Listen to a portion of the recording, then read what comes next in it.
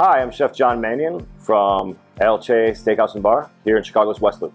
El Che is a Midwestern version of a classic Argentine parrillada. Uh, I spent a lot of time in Argentina as, as a young cook, and I was really blown away by just the the methods of cooking that they were employing there, and it definitely put a you know a zap on my brain. And I, I had this idea that I wanted to cook Midwestern food honoring those traditions here at Che. New Zealand venison has been in the market for a long time and it's always been an outstanding product. People who are looking for a lot of flavor, uh, lean protein, it's, it's right up their alley and it's conducive to a lot of different cooking methods. When I think about using venison, it's very specific for me.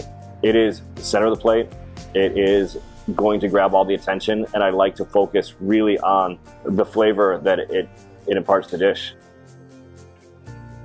Today I'm going to prepare Cervena venison Denver leg I'm to grill it simply over oak coals. We're to serve it with Japanese sweet potatoes that have been coal roasted, chimichurri, salsa criolla, and a vinegar caramel.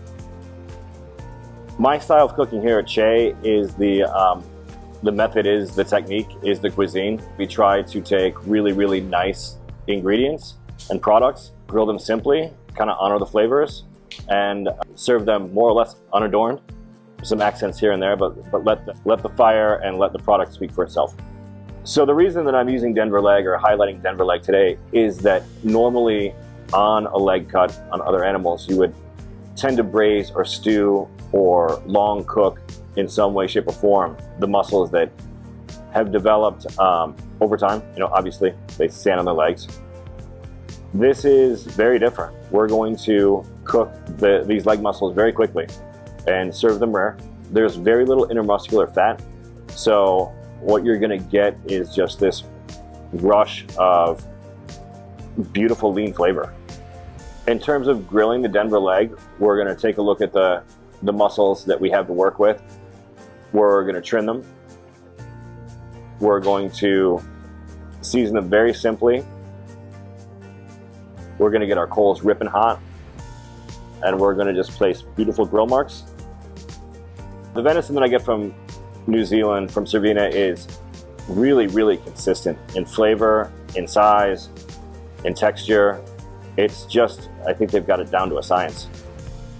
The coal roasted sweet potatoes are something that we've done for some time here. When we have nice embers, we'll wrap the uh, sweet potatoes in foil, place them in the embers, let them roast till they're just about there pull them out, cool them down, slice them, and then we'll um, grill them on the chapa, which is a, a plancha, which is a just kind of a, a fire-fueled griddle.